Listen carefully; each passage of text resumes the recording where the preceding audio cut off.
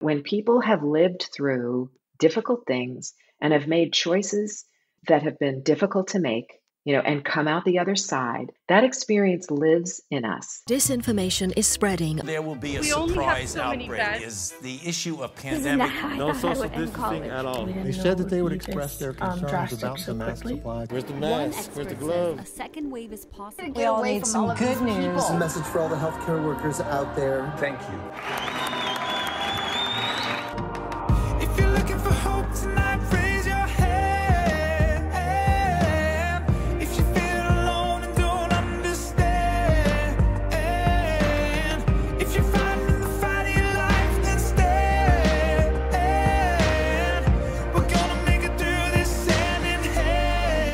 From Santa Rosa, California, I'm Cheryl Holling. Welcome to 19 Stories. A very happy Christmas to you, and thank you for joining me on this special Christmas edition. You may have noticed this particular episode is a little bit longer than most episodes, and I figured because it's Christmas, perhaps you can listen to half, have a little extra eggnog, and come back and listen to the other half hour. So without further ado, let me tell you something about Kay Bess. Over her 35 year career, Kay has consistently booked VO gigs in commercial, promo, and narration, and has done promos for every major network, as well as major cable news stations. A few years ago, she dove headlong into the world of gaming and animation, and now has an impressive list of credits in those genres. But what you may not know about her, we're going to talk about at the beginning of this episode. There are many coveted roles and avenues that Kay Bess is involved in. What we did talk about life, hope, and what it means to be a good human, no matter what industry you're working in. So, in an effort not to make this episode any longer, let's welcome our Christmas guest. Kay Bess, a very warm welcome to 19 Stories. Thank you so much, Cheryl. So nice to talk to you. Considering the last time, and of course we've communicated via emails and social media, et cetera, but Yeah. last time you and I actually had a conversation was on the patio at BPC when Esther was in a stroller. Brentwood Presbyterian Church.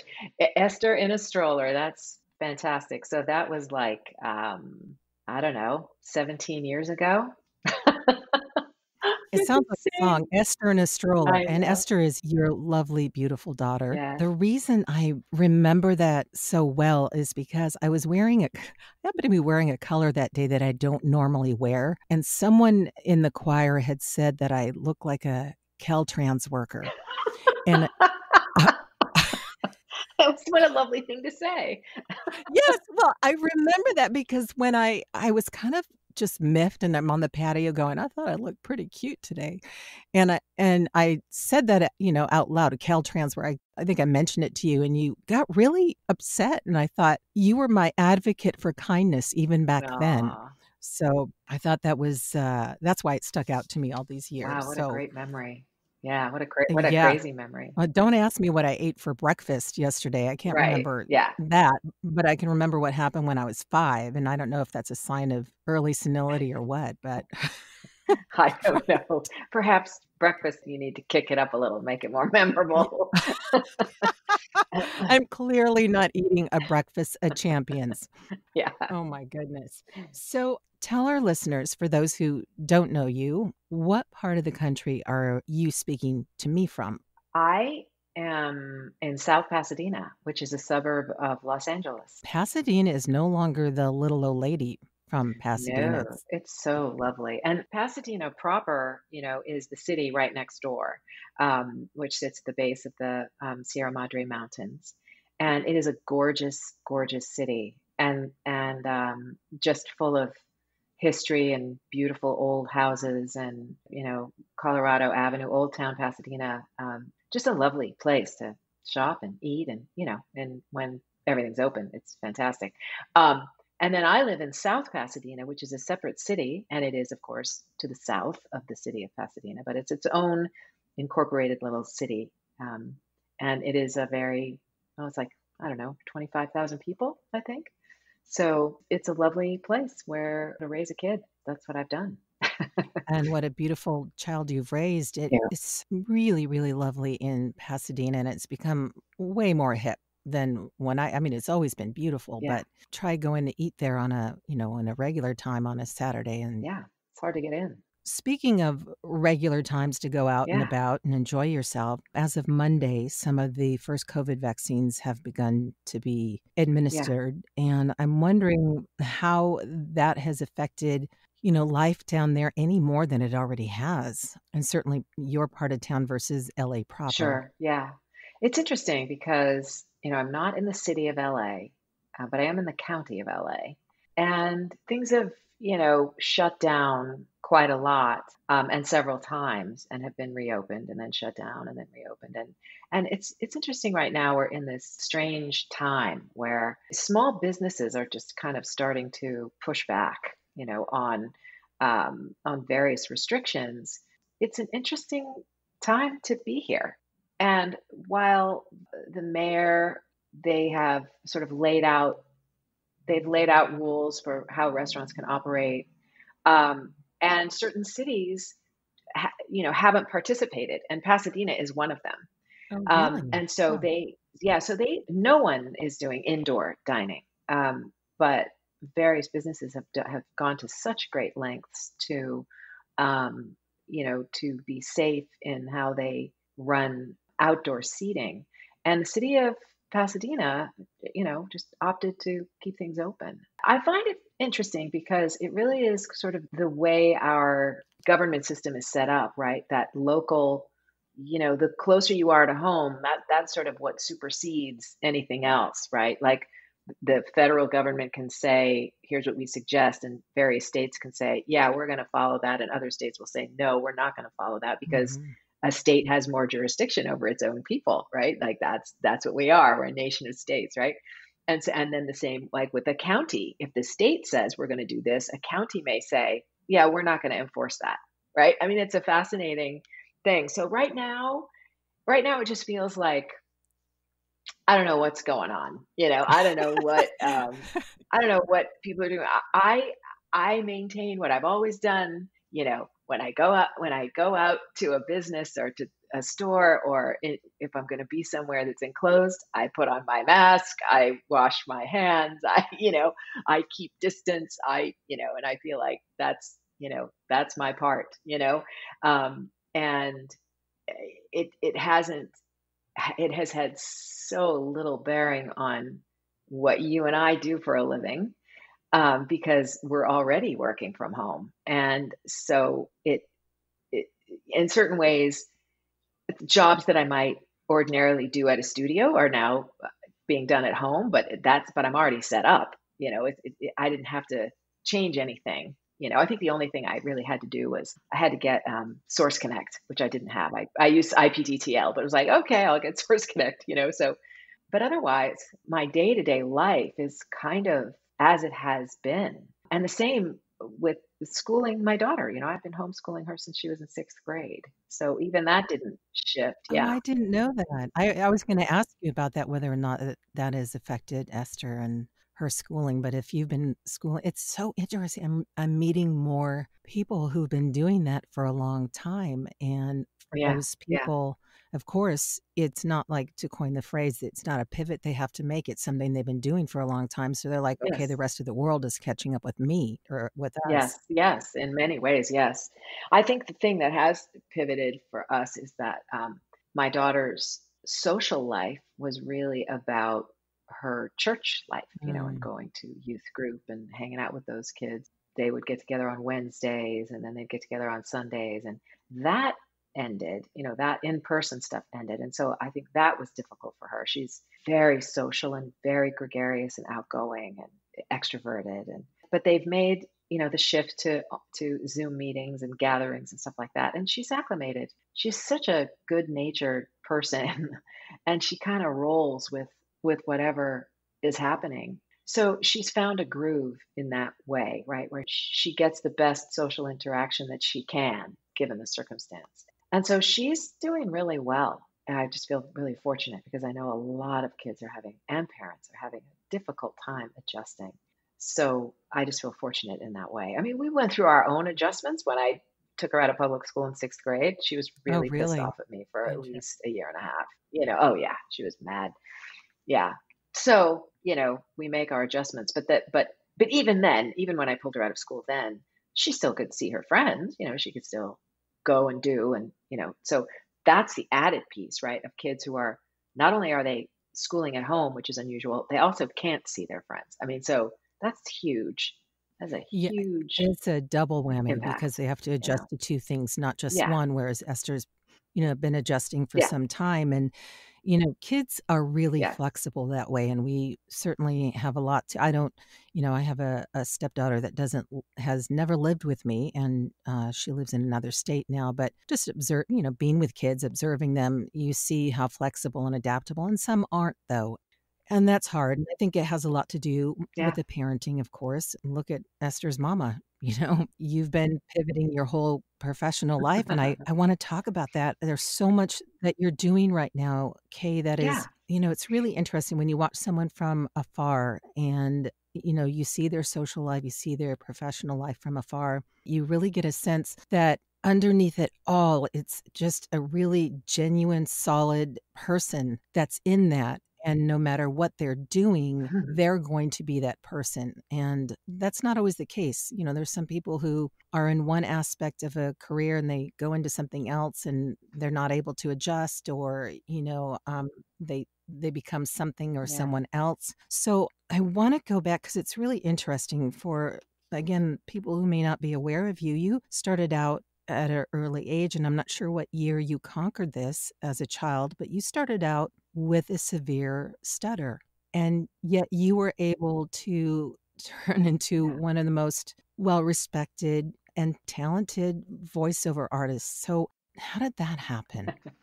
Well, I still sort of have a stutter, and it uh, it shows up when I am caught off guard by someone or something that uh, feels a little bit emotionally threatening. Mm, Um, and so I think that's a piece of it that you know it's that being taken by surprise and not knowing what I'm going to say, you know, not having the opportunity for some forethought about what I'm going to say.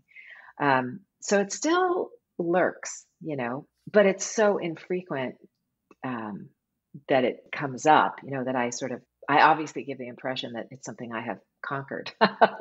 um, Yeah, well, um, yeah, I, I'd say so. To, I mean, to a large degree, I have. And the large degree, I mean, the thing really is that I understand it. I know where it comes from. Um, and I know that it's not speech mechanics, it's, an emotional response. So, in that way, it's something that I can continue to master and seek to understand and sort of find out what triggers it and, and all those kinds of things. But I will say this I didn't even know that I stuttered until I was seven or eight years old. And my family used to go at Christmas time. A few years in a row, we went to Yosemite and we rented a cabin. And sometimes we went with friends. And um, this one particular year, I was probably seven or eight.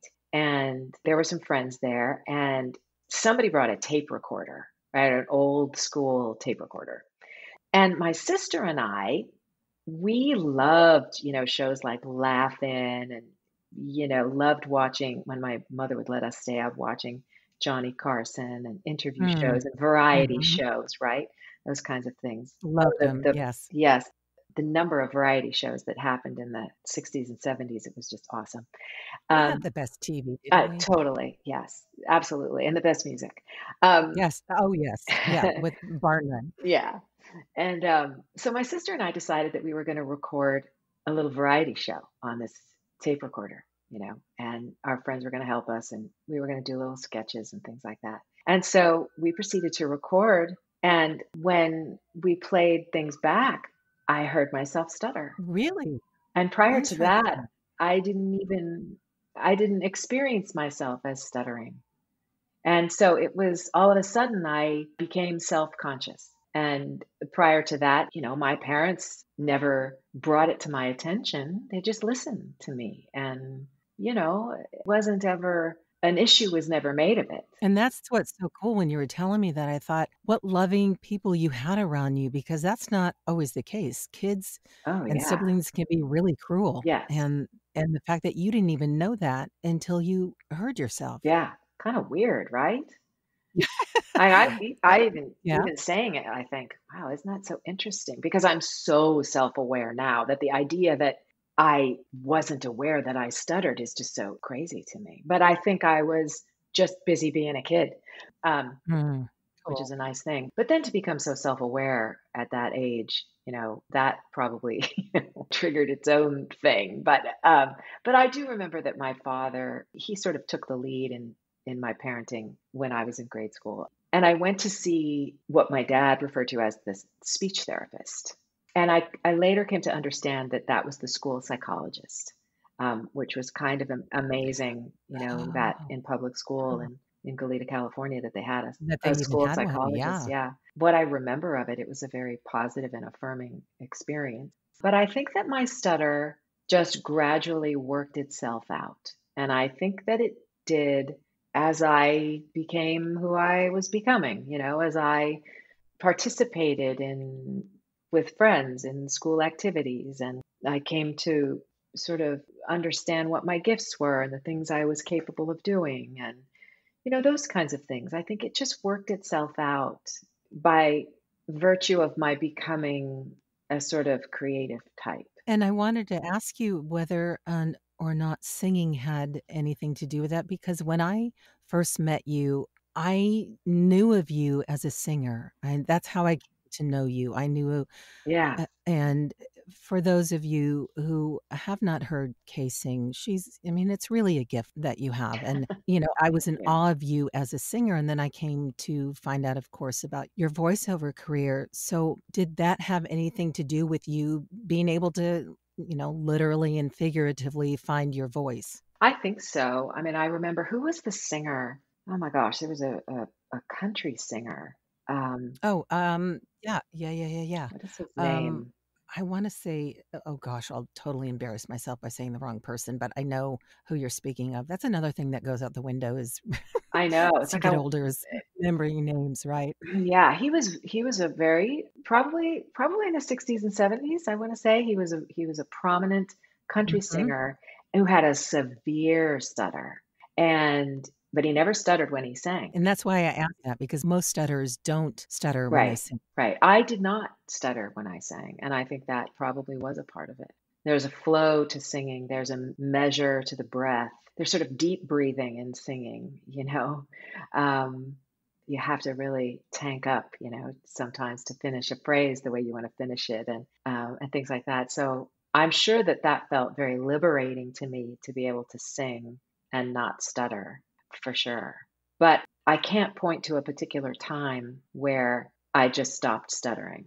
I think it's just more time has, you know, transpires before an event where I stutter. You know, so it might it might go whereas, you know, in the beginning it was every day and then, you know, then perhaps for a few hours I didn't and then for a few days and then something would happen, you know, and now it's like years and then something will happen. Like just the other day I I was on a flight. I was coming home from Oregon and got up to speed on our takeoff and then suddenly the flight was aborted aborted and um They were turning back. well we went out on the runway right and we hmm we started the takeoff got up to speed and then they cut the engines and aborted the flight Okay, and why? because um a light came on uh, a sensor came on indicating a problem with the de-icing mechanism on the wings In Oregon? Was it that cold? I mean, I'm not being well facetious. Was it that cold or? No, no. De-icing, the, I mean, it is well below zero when you're flying at thirty thousand. Oh, I see where. Okay. So that mechanism is always at play, right? Or if you're flying through weather, I mean, I'm completely, I'm obviously not a pilot, so I'm speaking out of turn. You But, mean you're but not? Um, Come on, know, okay. With everything yeah, else you do, you're not a pilot. yes, some things I just, I just, I just didn't have time for. um, uh, it is a mechanism that if it is not properly functioning, it is never safe to fly. And that's what the pilot said. It's that light came on, we aborted. We can't fly Okay. if there's an issue with that. So while it was happening, I didn't, you know, I wasn't panicked or anything like that, you know. So we stopped on the runway and got off the runway, went back to the gate.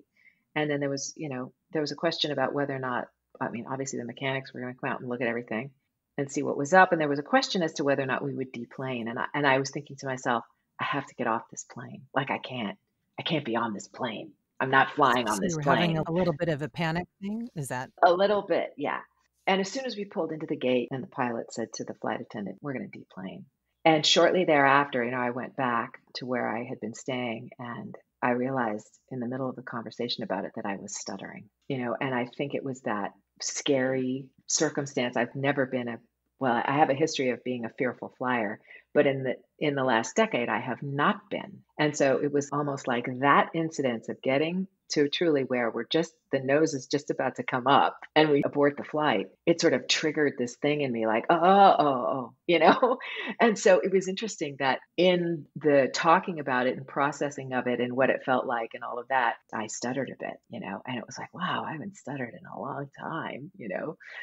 So again, it's something that it sort of lives there, but um, for the most part, it doesn't show itself. It's kind of interesting when we get unnerved about something, or like you say, if it's in an uncomfortable situation or something comes up that you feel a little off kilter, how it can press into those things and those areas of our life that we haven't visited for a while. And that sounds like that's what happened to you. Yes. And Yeah. Yeah. Yeah. gosh. Kay, I don't even know where to start with you, seriously. I mean, we have started. It's not like I've been over here sleeping. I'm just so, so happy to have you here and have this time with you. And all the things that I'm looking at Yeah. that you've been doing lately and been very encouraged by because you've Yeah. started a and I, I think maybe this is this is where I'll I'll pivot to is your business and coaching website Sure. has a really interesting name that I think out of all the qualities that you know a person could possess or wish for someone else it's called trust and be brave and so I'm mm. curious if you could speak to that like how did you come upon those two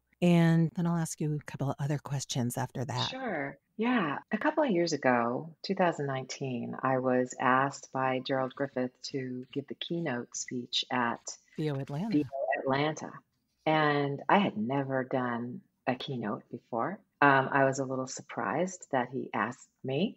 I, I had just met him at the 2018 um, conference, and I guess he just thought I, you know, seemed like a helpful and cheerful person.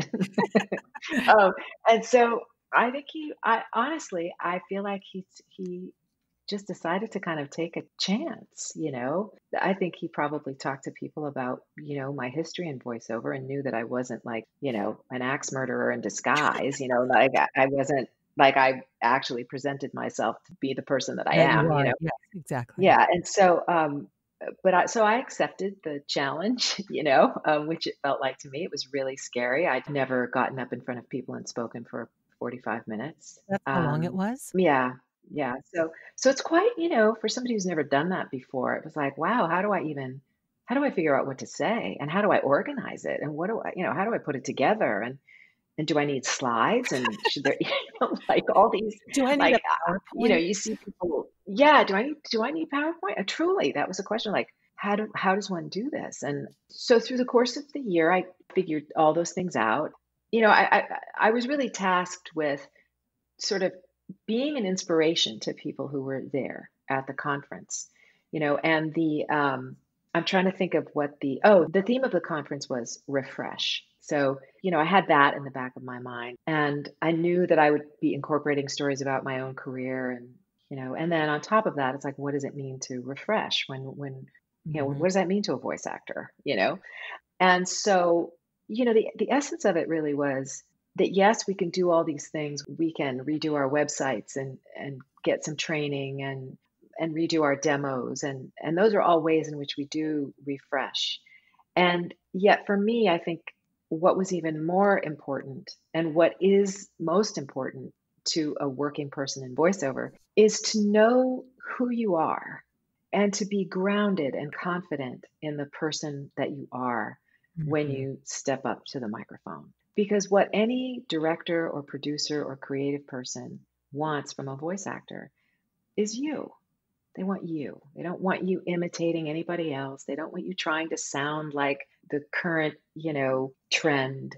They want you to be you. So that's where my keynote shifted because I realized that a big piece of what makes my career what it is uh, and has been is this constant desire to know who I am. And that pursuit of mine has enhanced my career. Um, kind of not by accident. I mean, I think it, it came along with it that my desire to know and understand myself, what my purpose is in life, right? My purpose in life is not to be a voice actor, it's something deeper than that. And so I think that pursuit that I was on, it extended to my career. And I realized that knowing who I was, knowing what I valued, knowing what I loved and who I loved, and you know, that all had a bearing on my level of confidence in my career. And so I am fine to turn things down that I don't think fit me. I'm fine if I don't book a job that I really wanted to book because I am not my career. And so I incorporated that idea into my keynote. And I think that it really resonated with people.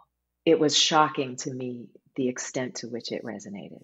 I spent the entirety of the weekend at that conference listening to people's stories. Mm. I could get teary about it, right? Like that people just felt like they could be safe with me. Mm-hmm. If I was willing to reveal my life and my story and my struggles, my ups, my downs, they had permission to do the same. I was about to use that word permission. You gave them a permission to be open and vulnerable and real. Yeah, and real. And isn't that what we're all after in voiceover? I mean, isn't that the spec we get the most? Real. We want somebody real. You know, the use of that term, trust and be brave, it came from a phrase that my father used to use with me. Oh, really? How beautiful. My father's a retired American Baptist minister. And um, so I grew up in the church and, you know, it's still still a big part of my life. And um, but he used to say to us, not not just me, but to you know all three of his children, he used to say, "Trust God and sin bravely." and uh, what and sin, sin, bravely, sin bravely. And you know, as a kid and a teenager, it was like, what? What do you, what does that mean? You know? Yeah. And so, what I have come to understand that that it means is that um, my life is not my own. My life belongs to God, and that to be human is to make mistakes and to live boldly in life. You are bound to make mistakes. And those mistakes encompass things like, you know, inadvertently hurting people, right? Causing mm. causing difficulties. You know, as good of parents as we might be, we're still going to mess up our children because we parent imperfectly. Well, we're imperfect people parenting yeah. other imperfect people, right? Exactly. And sometimes our marriages don't survive. You know, and we in our fear and our and our frustration and our sorrow, we do and say things we don't really mean. So to to live and to to discover who you are, what your purpose is and all that means that you're going to make mistakes. And I so I think that what, what my dad meant was, you know, trust God, right? Trust that trust that your life has value and worth, that you're here for a purpose, and live boldly. Mm. If you're going to make mistakes, make them big, right? Don't walk timidly through life. And that that's what that has come to mean to me. It doesn't mean, you know, to go out and intentionally be you know selfish and and hurt people it's not that it's just inevitable that if i'm if i'm in a relationship that isn't prosperous that's not doing well that isn't serving either person and i'm the one who says i have to break this relationship off because i believe it to be the best thing for each of us. That's still painful. You know it's difficult and you you, you hurt someone in the process you know? Um, and yet that could be a move that eventually allows both of you to flourish in another direction. Mm-hmm. Um, so that's what I came to understand what my what my father meant, and so I took that phrase, "Trust God and sin bravely," and I I knew I'm not talking to a group of religious people. You know, it's that that's that isn't necessarily language that, that's going to resonate with the majority of the people there, right? Probably and not. so, I, yeah, so I just shifted it and I said, "Trust and be brave," and that's where that phrase came from. My belief that we have to trust that we are where we're supposed to be and we are experiencing what we're supposed to experience. And if we're going to make progress in our lives, we have to we have to be brave. We have to step out and do things. We have to take risks and we have to do things that are uncomfortable and because it's it's in the discomfort where we where we affect change in our lives and we make And we grow. Yeah, and we learn and we grow. Yeah. So that's where that came from. And interestingly enough, I'm still in the process of putting together kind of a coaching program. And part of putting together the program, it's been a long process because I really want it to be good and I want it to be helpful and I want it to be meaningful to people. And so part of the process has been finding out what my voiceover colleagues need. What do they need? Wh- where are the barriers? What are the struggles? What are the obstacles that are in the way? And I had this idea of what I was going to offer, you know, as a course. And I had my plan and, you know, blah, blah, blah. And then, and then it was suggested to me, like, go and interview, you know, the, sort of ideal person who you think might be interested in this course and go ask them those questions. Like, what are you struggling with? What keeps you from doing your best work? You know? And everything that came back to me had something to do with imposter syndrome, Boy. not knowing what to do in the booth, not having any confidence, not no one is there to direct me. How do I know if I'm doing the right thing? And someone in response to one of these questions, because I posed the question on LinkedIn and on Facebook, and one person responded to me and said, you know, sort of named those things, right? Like just, you know, trying not to be overwhelmed by imposter syndrome, you know, and and then and then they said, but I have a sign up in my booth that says trust and be brave. So that's what I'm doing. Wow. I thought, my goodness, like I was taken aback by it. Like, I think that resonated. And so I thought I should incorporate that. That's still what everyone I talk to is longing for support, you know, to to learn how to be brave and to step in confidently and to direct themselves and you know and those are acts of bravery and courage you know in voiceover land you know where you're stepping in and it's just you in the booth and so that's how i named it that you know i, I named it just based on you know what i what began at a you know as a keynote in VO Atlanta in 2019 and then I realized was still kind of resonating with people. Absolutely resonating with everybody. And So is that interesting that at a time, you know, there's coaches out there who are just like grind and crush it and, you know, go after it and, you know, all this kind of not saying that doesn't have a place with the right people, but sure, it yeah, yeah. certainly doesn't allow room to say, you know what, I'm pretty scared. I don't really feel that way. I don't present myself that way, etc. I mean, you touched upon something that, you know, to trust and be brave is allowing people to trust themselves. I mean, this whole imposter syndrome, I mean, that is such a phrase I hear all the time. I certainly deal with it. I mean, Yeah. I'll do something and then, you know, it'll take my husband to tell me, Cheryl, you just did the very thing you say you can't do. Do you realize that? right, oh, right. really? Yeah. Oh, okay. I guess I did.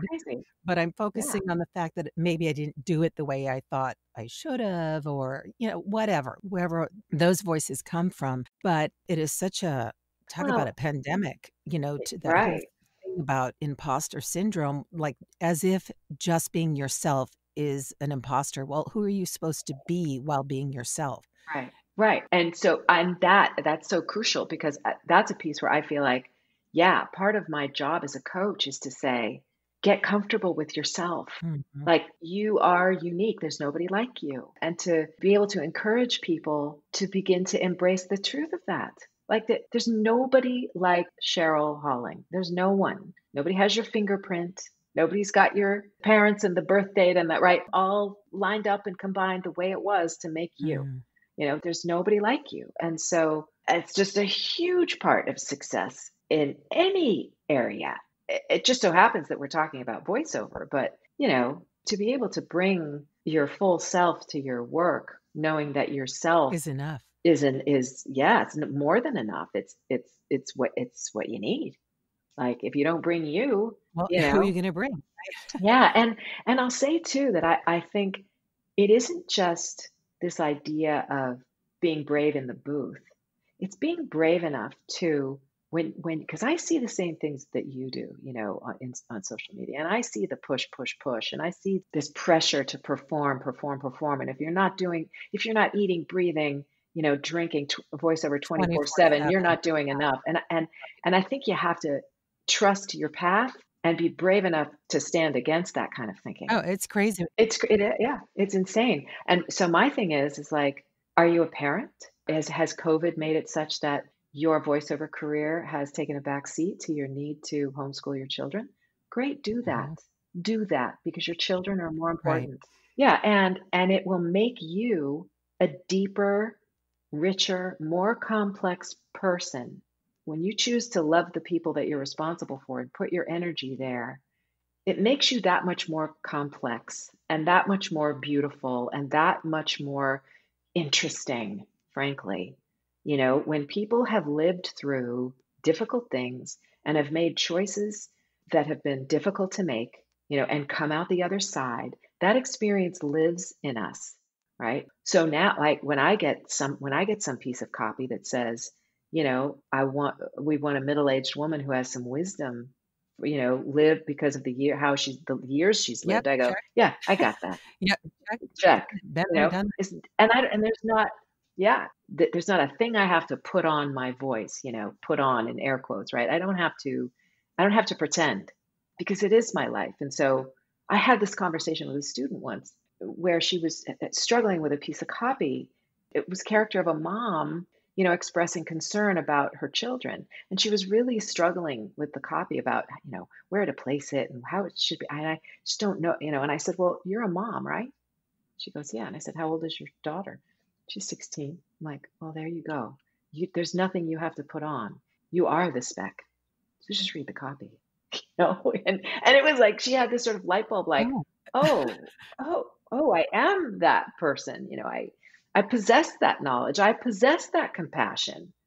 I understand the complexity of that of the compassion for your kid when your kid's driving you crazy and they're being difficult, but you love them.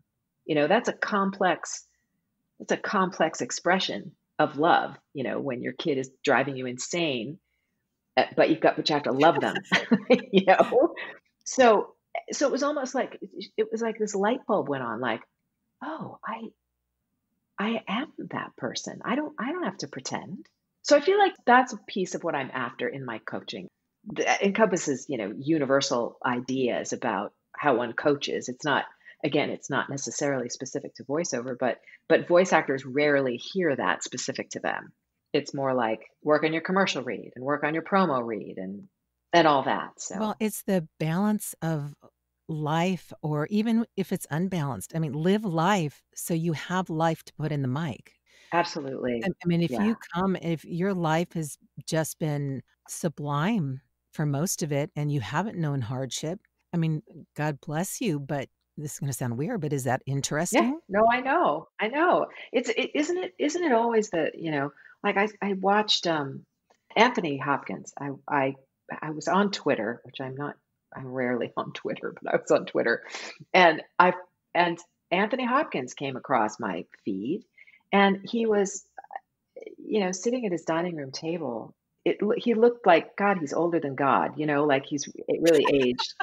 Uh, which of course he has. He's like in his 80s, you know, and um, and he had this just remarkable, beautiful face full of lines, and Yeah. the sound was down, and he just he was just talking, you know, at his dining room table, and I turned the sound up, and I realized he was doing a soliloquy from Hamlet, Oh, and I and I listened to it, and and it was like, oh my God, like I understood every word, I, I understood every idea, I understood every emotion and thought that was present in that that in those Shakespeare, you know, in those words of Shakespeare, right? And it was like his age and his experience and his wisdom and the life that he's lived, along with him being an extraordinary actor. sure. God, he was just I watched that and I thought, what a beautiful man.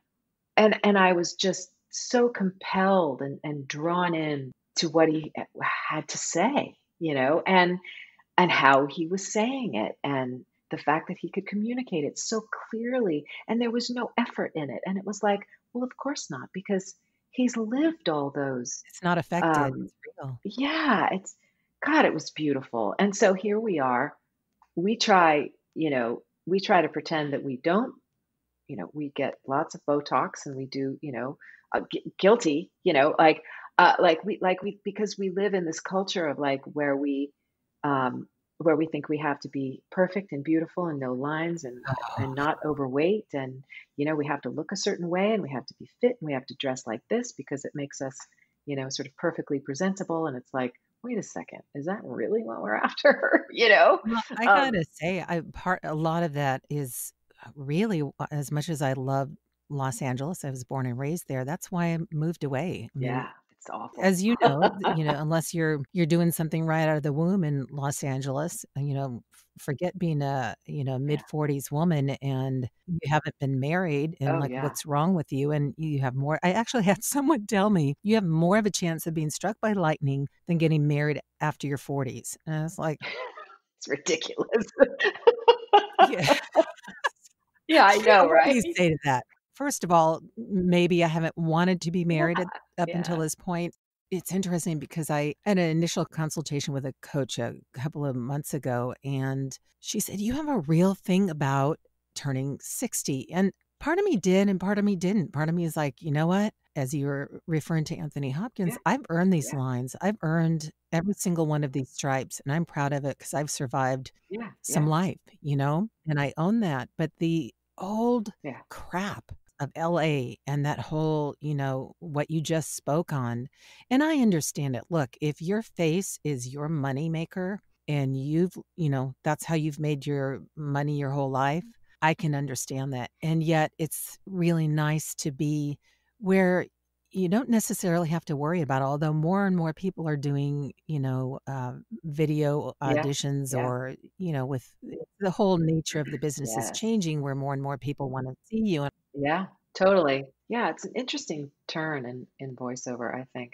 And I will say, you know, i- i- with regard to on-camera acting, honestly, like my heroes are Helen Mirren and Judi Dench. Judi Like I, Dench. they're they're just, you know, she's Yes. on the cover. What is she? She's on She's uh, on, Vogue, isn't it yeah, Vogue? yeah, and I think she's like, she's 85. You know what? Rock on, woman. She's she's amazing. And I look at her and I go, oh my God, what a beautiful woman. Like I just want to be like her, you know. And so they're out there. You know, we have to pick and choose, you know, who we want to emulate. And I think it's really, really easy for us to emulate youth because that's what Hollywood is about. But just because it's the most prominent thing for us to see and follow doesn't mean we have to, right? Mm-mm. And and and we can sort of put our aim elsewhere, but we have to be super, super conscious of it, you know, and do it very deliberately. That's what I have done too. You know, like I just, I could stand to lose 20 pounds, but it's like, I really love eating.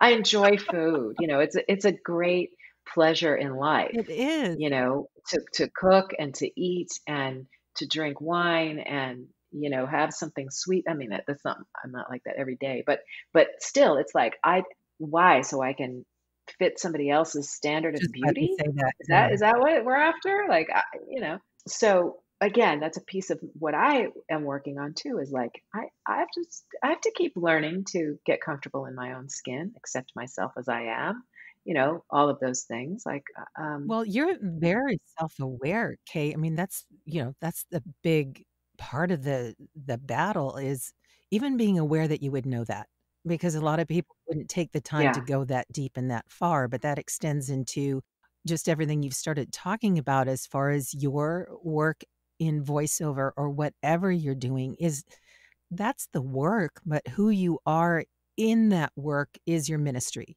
It's who you are as a person. How are you acting and mhm, reacting? How are you affecting other people? Allowing yourself yeah, grace when you're, you know, a messy human, right? yeah, yeah. Gosh, there is so much.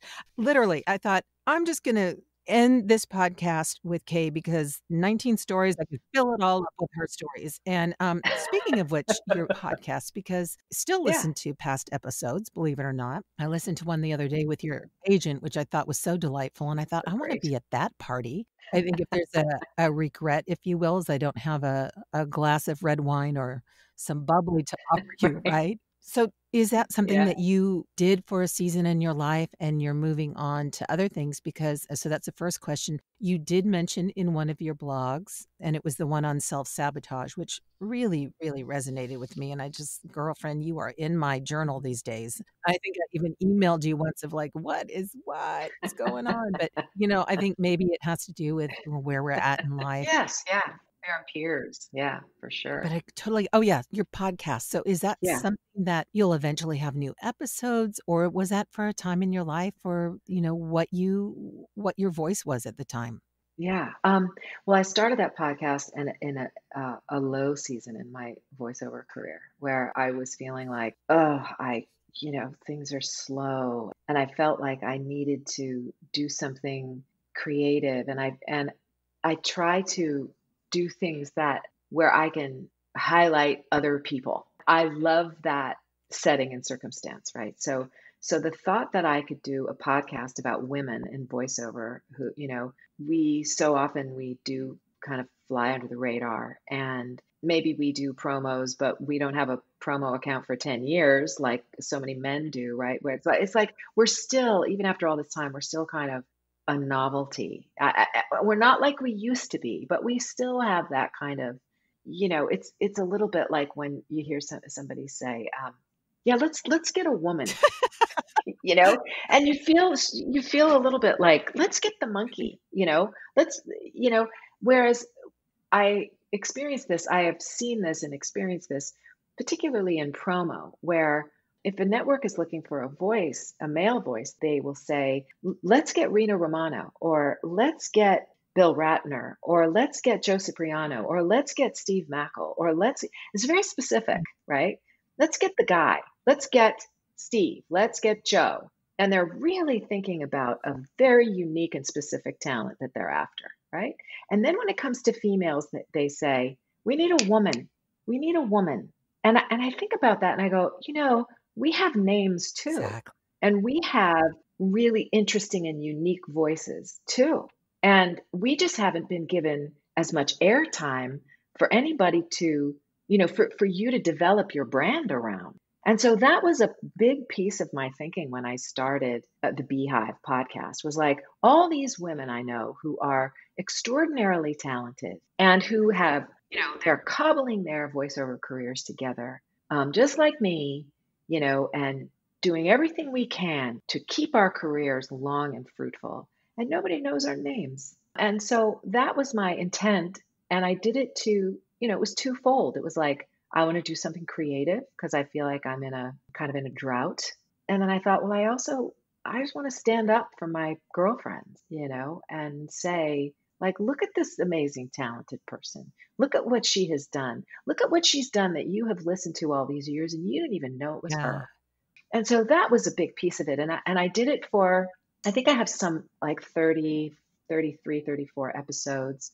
I mean, I was doing it all myself. And I was very, Yeah. I was, right? My hand over here. Yeah, yeah. And I was very particular and I edited every single one. And because we were sometimes drinking wine, you know, there were times when things got, I think, a little too personal. And so I was very aware, very conscientious, and very mindful that there might be things in there that, that somebody might not really want to say. And so I went through my episodes with a fine tooth comb and I really edited seamlessly. And I, you know, I did all of that. And at a certain point, you know, work started to pick back up and it was like, oh my goodness, I don't have time to do this. But I still wasn't and still am not, you know, at a point where I could have hired an editor. But I do think about doing a podcast and whether it is that same format and I continue to do that is is another story. But it, but I think a piece of my coaching, the development of my coaching program, will include a podcast.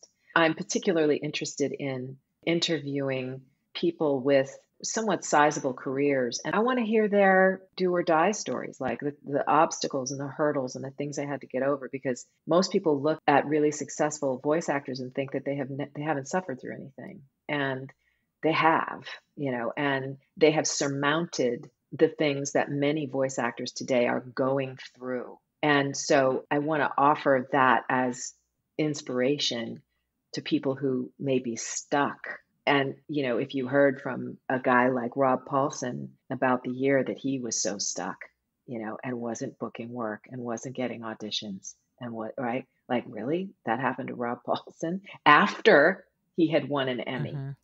and so i'm kind of i'm interested in doing that as a piece of my coaching program as kind of an offering in it. But i really i i, I have to make a decision about that about like well how perfect are you going to require it to be? Like, because it, can you let it roll and live with what it is and put it to air, or do you have to go through all of the machinations Just of, about of to say that of what it means to put it together. And yeah, exactly. for people who haven't Yeah, heard it, it is, can you say the website? It can access it through your coaching site, you can, which we're going to post that in show notes. And then your coaching site is trustandbebrave.com. Is that correct?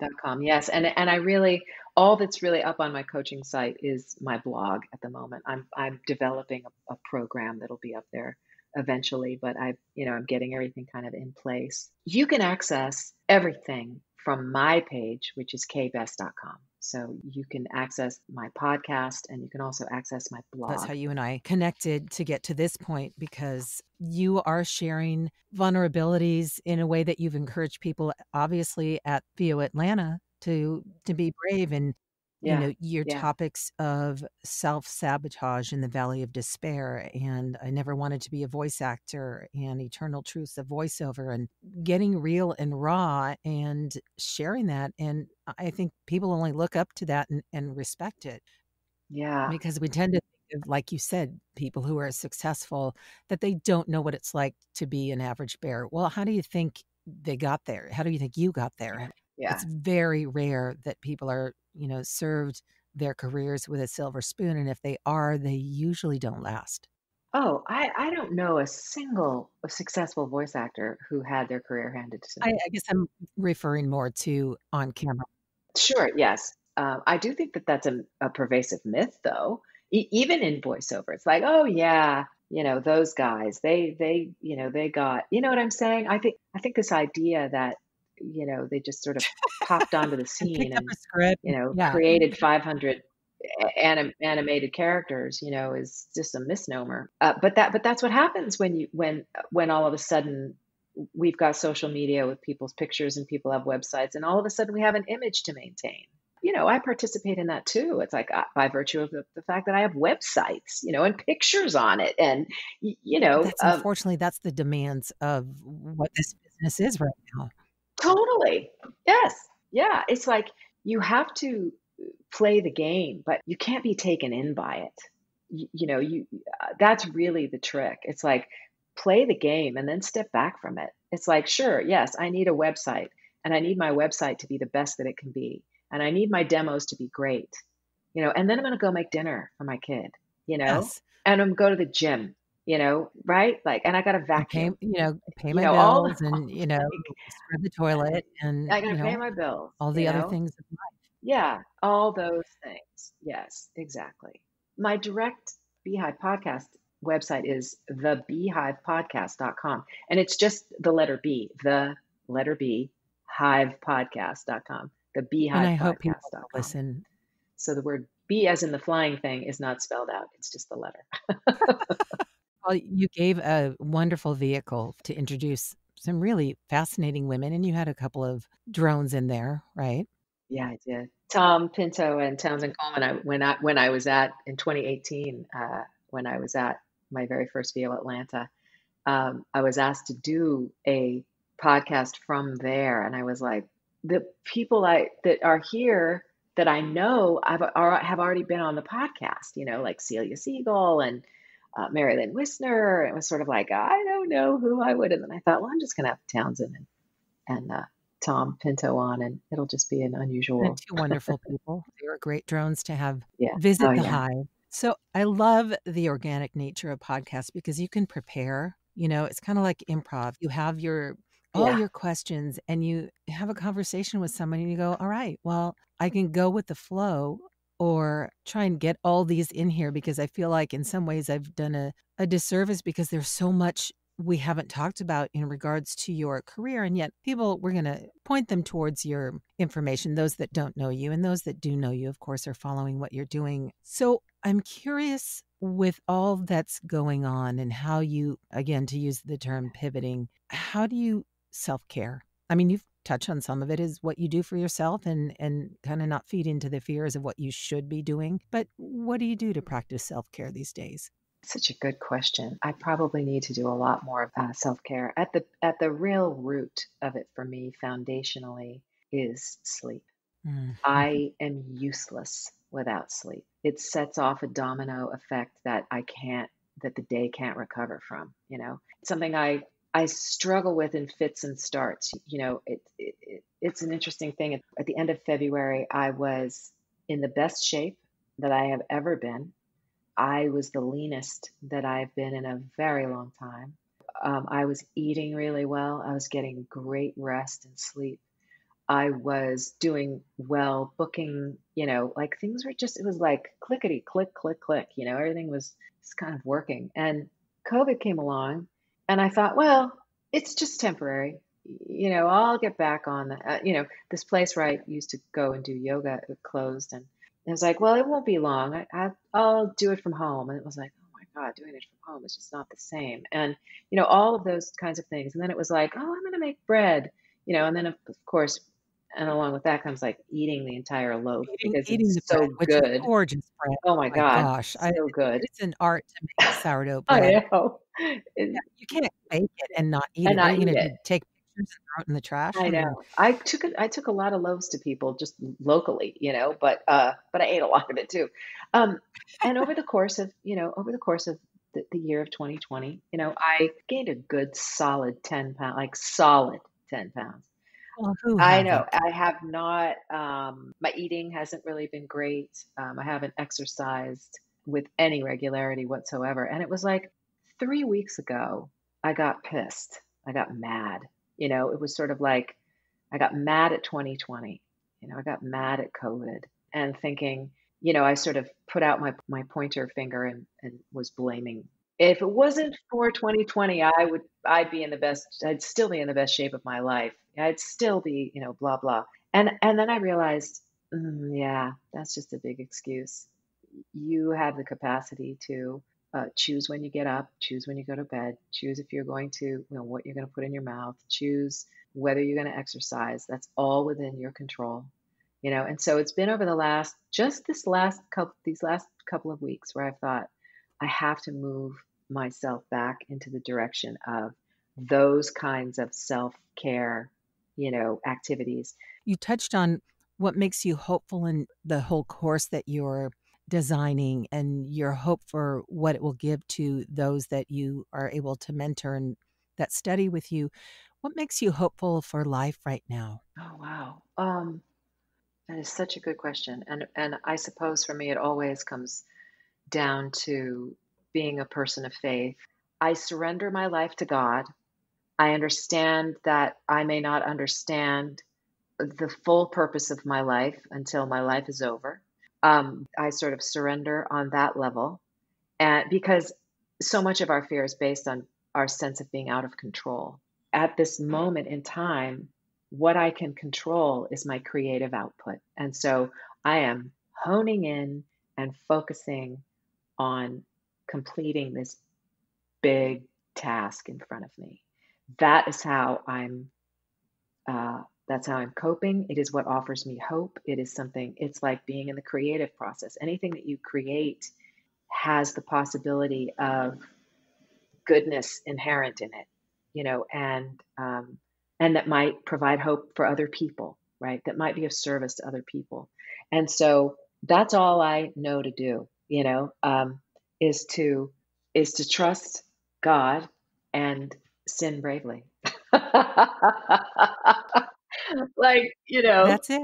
It really so it's that's soldier on. Really yeah, show up full, ready yeah, to go. And if you fall and fail, well, hey, read a beautiful acronym the other day that failing was faithful attempt in learning. fantastic. Okay, given that music was and is, I'm going to say is, you still are very much the singer. That's, you know, part of who you are and your gift and your talent. If there was a soundtrack to your life right now, what would be on it? Hmm. Well, there'd be a lot of James Taylor and there'd be a lot of Joni Mitchell. Mm, There would be a smattering of mm, songs that I can only sort of describe as coming from Christian artists, lyrics of which I feel like really they just resonate with my own journey and my life and and my relationship to God and there'd probably be a little bit of uh, Rosemary Clooney. um, I'm I'm a big fan of I'm a big fan of great music in any in any genre, you know. So that would be tough, but I mean, those are the ones that last for me. I was listening to Hejira, which is a, a record of Joni Mitchell's from 1976, and I was talking to a friend about it, and I was like, that is a that is a desert island record for me. You know, like I know every word. I I feel like, you know, she wrote that when she was in her when she was 30, and I feel like her understanding of life, particularly the sorrows and the melancholy of life, like oh, she's just so amazing. Um, and and I listen to it now at age, you know, almost 60. I think I said I was going to be 60 in March, but I'm not. I'm going to be 59. I keep, I always, whenever I turn a certain age, I always start using the year ahead so that I don't shock myself, right? Like, That is so anti-lay. I know. So earlier today, I did a podcast and I said, yeah, I'll be 60 in March. And now I'm like, oh, wow, I'm going to be 59. Like all of a sudden I gained a year, right? It's hilarious. So silly. But um, I still listen to the lyrics on that record and I think, oh, I, I'm still learning things from that record. It's River, for some reason, when I hear that, Yeah. especially around this time of year, just Yeah. cuts me in a way. I mean, even if it's just a gorgeous fall day and the leaves are falling and blowing, and it's, you know, that gorgeous and godlike, really. And Yeah. I Yeah. could be driving, that song comes on, and I'm a puddle of tears. Yeah. Beautiful. And you know what? Sarah Sarah McLachlan's version of it is gorgeous. Well, there's uh, Sarah McLachlan's. There's also uh, k.d. lang does a Yeah. beautiful version of that. James Taylor does an interesting It's version just a beautiful song to start with. Yeah. Yeah. Thank you for this Great. time. Thank you for Thank having you for being me. had. I'm happy to have been had. and really look forward to all the good things that you're doing and continue to put out both creatively for your voice work and certainly your new coaching series. I, Thank I'm you. really looking forward to that. Thank How you. cool is that that you've got a production studio in your home and you're grasping hold of the, you know, learning the tools so that you can do what you want to do and that's really Yeah. where we're at right now. I think all of us learning the tools in whatever facet so we can not only survive but thrive. And Yeah. is there anything else you'd like to share or say before we say goodbye? I don't know. I uh, I feel like this has been a pretty thorough podcast. I'm grateful for the opportunity to share the things I know and uh, share the things I don't.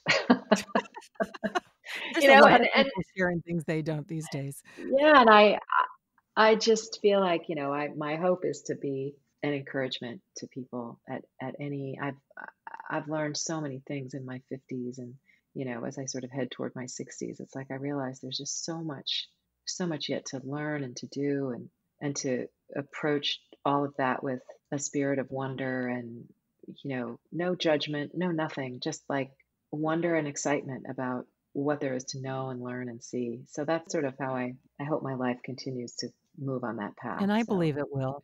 I hope that's a benefit to others. To, to go do what you want. Go do it. You know. And that is part of, you know, being at an age where a life well lived in all its colors yeah. and being able to reach peers or reach down to other people and bring them up because otherwise what good is keeping all of this it's really meant to share and i think you're doing that I see you doing that Yeah. and really appreciate that appreciate you and hopefully it won't be another 17 years before oh, maybe the thing is i should have been wearing caltrans orange all this time and i would have had more conversations so funny. No, we're gonna get through all of this and then we're gonna start seeing each other again. Amen. Amen. I want to have a trip to LA to visit family and friends, and then I'll come visit you in South Pasadena. And You please. can take me to some of these places that I've heard you speak of for, you know, Yeah. whether it's a cocktail or you you mentioned something about a, I don't know if it was almond based, some ice cream that just sounded really decadent and Oh gosh. wonderful. Yeah, that's in uh that's in Burbank.